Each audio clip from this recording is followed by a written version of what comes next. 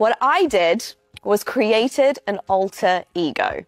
An alter ego, you all know what it is, but to just break it down, it's an external persona. Some of the most powerful, successful people in the world have created this. Eminem had Slim Shady. Beyonce had Sasha Fierce.